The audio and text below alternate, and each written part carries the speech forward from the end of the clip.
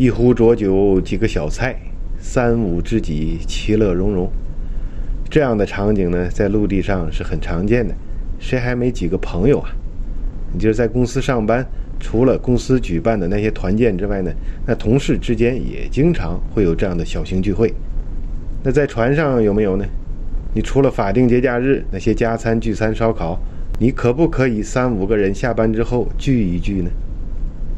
当然可以，本来就是无可厚非的。但是由于船上环境比较特殊，往往呢被诟病为拉帮结派。哎，这个现象啊，在早期跑船的时候是比较常见的。那时候确实几个人聚在一起就被这样定义的。的确也有很多这样组成的小团体之间的冲突事件发生。那现在呢，船上这种冲突就很少了，几乎绝迹了。因为船上它引进了先进的管理体系，包括公司的规章制度、行为规范、工作职责等等这些方面呢，几乎都做了详细的规定，日趋完善。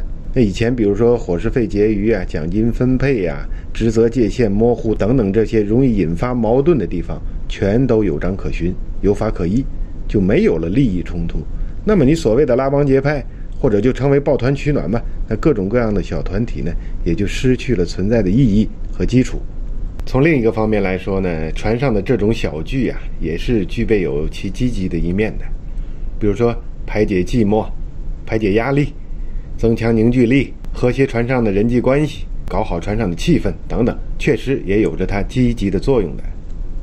所以说，现在船上的主管呢，对下属的这种，比如说下班了几个人喝喝茶、聊聊天，或者分享一下私人购物的一些美食等等这种类型的小型聚会呢，也都不会横加干预。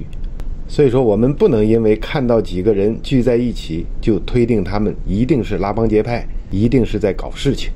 也的确不应该做这样的有罪推定，那这样做是有失管理的公正性的。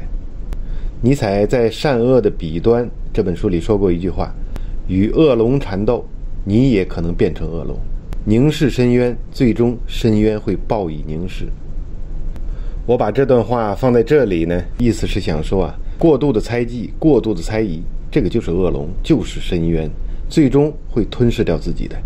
其实反过来呢，还有一句话。也分享给大家。我看青山多妩媚，青山看我应如是。那这期咱们就聊到这儿了，下期见，拜拜。